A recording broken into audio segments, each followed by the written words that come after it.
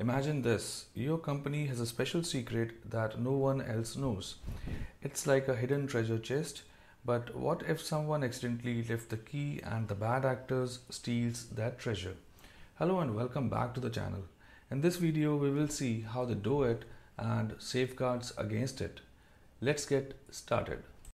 Go to the challenge page and it says that this lab leaks its source code via backup files in a hidden directory.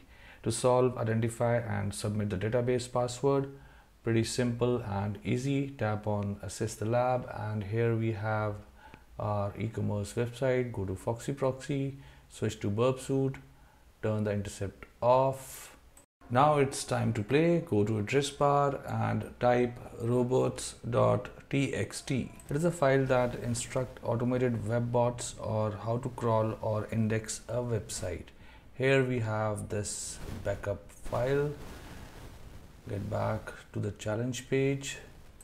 Open burp suite here's the lab id tap on it to see file and folders. Here is the backup. Tap to open it.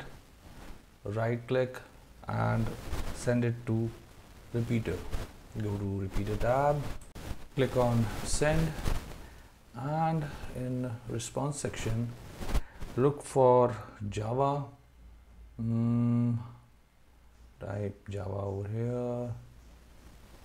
Mm, copy it and paste it over here in request section. Click on send. Http 200 ok in response. Perfect look for the flag or that database password. Mm. now this looks like an answer. Time to copy it. Mm. now get back to the challenge page. Tap on submit solution. Paste.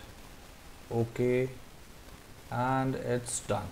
Congratulations. You solved the lab now to safeguard against source code disclosure via backup file vulnerability, number one, prevent backup file creation that is disable automatic backups.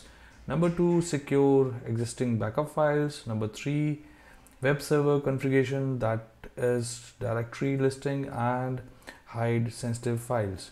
By following these safeguards, you can reduce the risk of your source code being exposed through backup file. Thanks for watching.